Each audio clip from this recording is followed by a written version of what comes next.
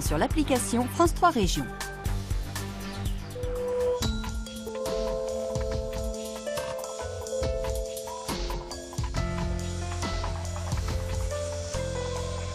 Bonjour, nous poursuivons notre itinéraire sur la Grande Pêche. C'est de cette pointe que les femmes regardaient les bateaux partir vers les grands bancs.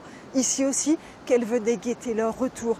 La vie des hommes à bord était rude, celle des femmes restées à terre ne l'était pas moins. Huit mois par an, la peur et la solitude étaient leurs compagnes. On l'a longtemps nommée Croix-Spel, la croix lointaine en breton. Et puis elle est devenue la croix des veuves, un triste nom, pour une histoire souvent plus triste encore. Les goélettes quittaient Paimpol, et les femmes, elles allaient à la pointe de la Trinité, en bas, et elles chantaient. Les Islandais chantaient Ave Maristella, et les femmes répondaient. Et quand elles n'entendaient plus les Islandais, elles montaient. Et alors là, elles venaient ici. Et elles revoyaient les goélettes. Elles les apercevaient au loin qui partaient pendant très très longtemps et qui disparaissaient derrière Bréant. À bord des goélettes, les femmes voyaient s'éloigner un mari, un frère, un fils, parfois tous sur le même bateau. Le cœur serré, elles partaient s'occuper des enfants, cultivés pour celles qui en possédaient leur petit bout de terre ou s'en allaient à la marée. Mais en passant devant la petite chapelle de Perros-Samon, jamais aucune n'oubliait de s'arrêter.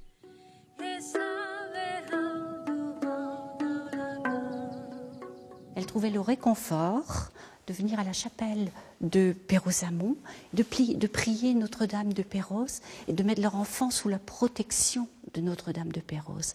Elles allumaient un cierge, elles s'agenouillaient et elles priaient pour le retour de ceux qu'elles aimaient. À l'automne, quand les voiles des goélettes se dessinaient à nouveau à l'horizon, les femmes revenaient vers la croix des veuves. Certaines attendaient longtemps, longtemps, en vain.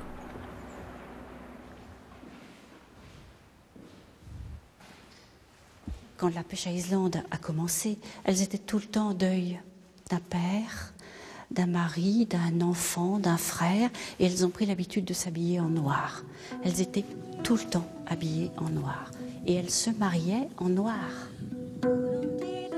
Certaines histoires affirment que si la mer est salée, c'est à cause des larmes des femmes des marins. Au XVIIe siècle, comme dans les années 1980, la vie des femmes de ces marins partis pêcher dans les eaux glacées d'Islande ou de Terre-Neuve fut souvent la même, une vie faite d'adieu. Non, je suis pas jalouse de la mer.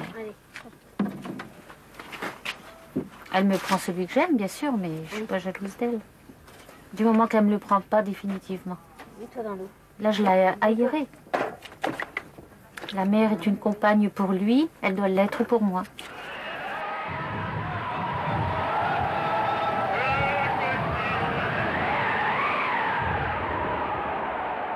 Vous savez, il y a deux hommes en haut. Il y a l'homme du bateau et il y a l'homme de terre. L'homme à terre est toujours joyeux.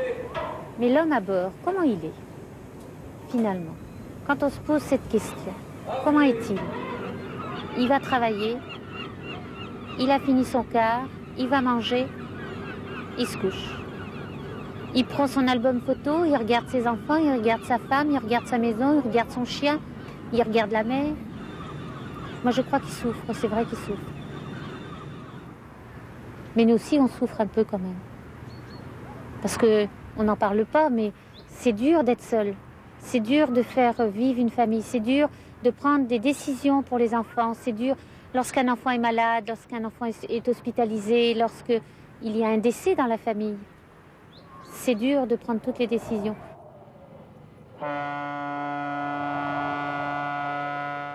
De longs mois, les hommes étaient seuls en mer, les femmes seules, à terre, avec la vie qui passe, les naissances, les deuils. Longtemps, les marins ont appris les nouvelles en reposant pied à terre. Dans les années 1930, le père Yvon a armé un bateau pour aller porter secours, nouvelle et fois, de l'autre côté de l'océan. Il est allé à Terre-Neuve pour s'occuper des marins et notamment des mousses et pour leur venir en aide.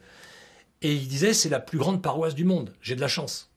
Donc du coup il fait un bateau, le Saint-Yves, il invente Radio Morue, il découvre l'univers de ces gars-là, notamment l'univers des mousses, et évidemment ça devient un militant politique.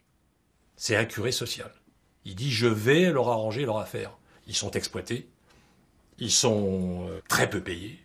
Moi, je suis là, je vais les aider et je vais rétablir la vérité et je vais dénoncer tout ça. Donc il filme. Il filme comme un militant politique. Et il filme quoi? Eh ben, Il filme la gueule des mecs, il filme leurs conditions de vie. Et qu'est-ce qu'il fait avec ces films? Eh ben, il les monte, tout seul. Il n'y a pas de son. Et il les commente. Et il les projette dans les fermes, dans les petites villes en Bretagne. Il montait son projecteur lui-même, il, accrochait ses bobines, il était là, c'était l'écran c'était un drap, tu vois. Tout le monde était assis autour et, et roule ma poule et il y allait à fond, à donf. Et là, il dénonçait, il dit voilà ce qu'on fait de vos hommes, voilà le traitement qu'ils endurent, c'est inadmissible, etc., etc. Les armateurs, ils l'ont vécu comment, son passage au Périvon Alors au début, c'est bien parce que comme ça, c'est une caution. Une caution, ah bah tiens, on s'en fout, le père Yvon est là-bas, il va ranger leurs âmes, il va ranger leurs trucs, et puis ça, ça va, ça va être un, ça va, on sent bien, on, sent moins coupable probablement. Hein. Mais comme par ailleurs, il prend de plus en plus de poids et, ses propos et ses arguments deviennent de plus en plus crédibles au point que tout le monde en parle, là les armateurs ils sont mal. Parce qu'ils sont, ils sont, vont être et ils sont obligés de changer sous son impulsion les conditions de travail.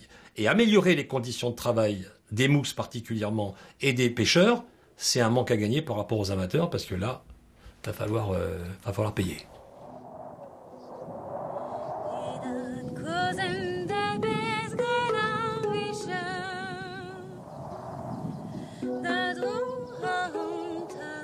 L'an dernier, une statue a été inaugurée ici, sur la lande. Une petite larme coule sur la joue de l'une des deux veuves d'Islandais, un hommage à toutes les femmes de marins.